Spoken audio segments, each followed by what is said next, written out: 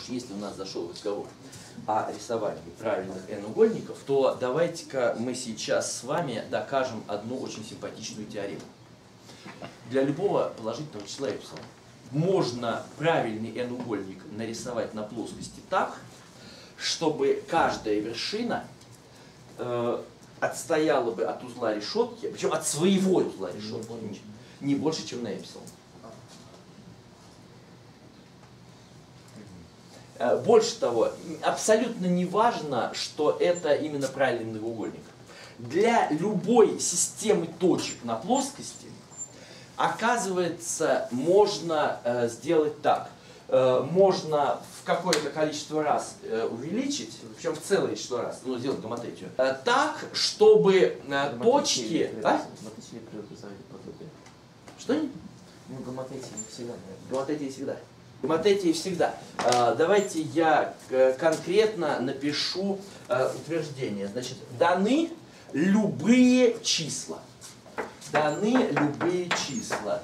x1, x2 и так далее, xn, y1, y2 и так далее, yn. Это числа абсолютно любые. Оказывается, существует такое натуральное число k, для любого эпсилон больше нуля. Да? Для любого положительного числа эпсилон существует такое натуральное число k, что числа kx1, kx2 и так далее, и так далее, kyn отстоят от ближайшего целого числа меньше, чем на эпсилон. И у каждого должно быть свое натуральное, свое. Нет. А это ну, автоматически получится, если они разные. э, Мы же k натуральное число, поэтому ну, как бы, расстояние между ними не может уменьшиться. Согласитесь, красивое. э, Это упражнение на принцип Дирихле. Дело в том, что когда Дирихле в середине 19 века изобретал свой принцип, он совершенно не думал, что его будут рассказывать там, во втором, в третьем классе.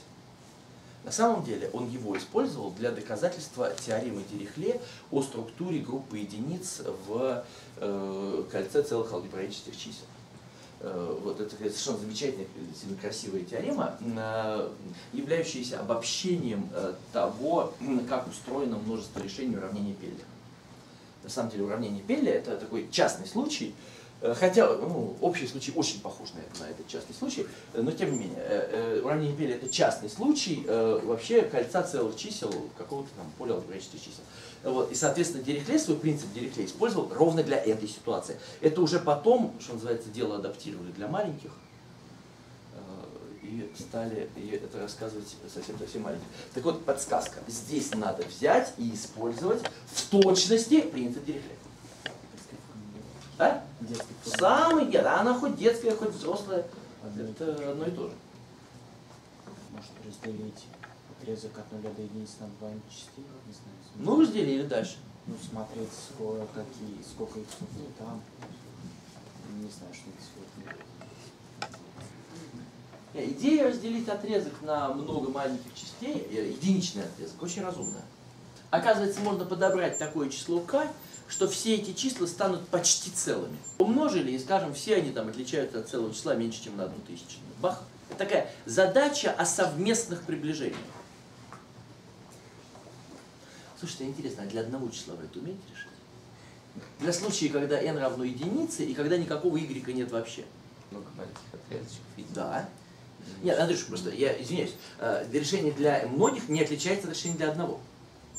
Поэтому если вы сейчас расскажете решение для одного, то заодно у нас будет решение для многих. Пожалуйста. Смотрите, как это рассказывал Израиль Борисович Дельфан. Если вы возьмете книжку Лемона, сборник задач московских олимпиад, вот не нынешнее издание, а именно Лемон, которое было давным-давно давно напечатано, то там есть рассказ о лекции Дельфанда для школьников. Лекция выглядела следующим образом. Он нам объяснял, что ну бог пока с этими числами, Э, возьмем одно число. И что у нас есть? У нас есть 0, у нас есть числа x1, x2, э, нет, извините, 2x1, да? 2x1, э, 3x1. Согласны? 4x1 и так далее. И у нас есть целые числа. 1, 2, 3, 4, 5, 6, ну и так далее, да? Там э, 8, 9. Так вот, Дельфант объяснял, что такое отличаться от целого числа меньше, чем на эпсилон? Да очень просто. Это надо взять, здесь рассмотреть числа, вот я договорю, ладно? Здесь рассмотреть числа 1 минус эпсилон, 1 плюс эпсилон. Э, то есть, проще говоря, около каждого из чисел рассмотреть маленькую-маленькую канавку. И строй солдат идет, надо доказать, что он обязательно вляпается. Согласны? Если каждый раз делается шаг на одно и то же число на x1, э, обязательно когда-нибудь э, они обязаны прямо в канал. Как это можно нарисовать на окружности? Очень просто. Э, рисуете окружность длины 1. Дело в том, что вас эти числа волнует только его дробная часть. Поэтому можно считать, что движение происходит по окружности длины 1. Понятно? Нет. А, и что у нас получается? У нас получается, что задача реально свелась вот к чему. По окружности прыгает э, солдатик, каждый раз делая прыжок на одну и ту же величину. Доказать, что он рано или поздно э, вплюхается э, в канавку, э, сколь угодно маленького размера, ну, какую канавку не возьми, обязательно рано или поздно. Вот, доказательство такое. Когда он делает один оборот, то смотрите, э, у него либо вот этот кусочек, либо этот кусочек будет э, э, не больше, чем половина шага. Согласны? Смотрите, вот если он прошел, прошел один оборот и перешел за, то на самом деле при следующем обороте он перейдет еще настолько же. При следующем он перейдет еще настолько же. И в результате он как бы пойдет по окружности, но с шагом меньшим, чем ну, даже в два раза меньше. Да? Вот. Или, если у него вот, вот это маленькое, это большое, то можно как бы считать, что он чуть-чуть не дошел, но меньше, чем наполовину ну, своего шага. Вот. И поэтому там следующий оборот он опять не дойдет настолько же. И поэтому каждый следующий оборот у него длина шага уменьшилась в два раза или больше. Понимаете? Вот. Но это, извините, еще слишком сложно.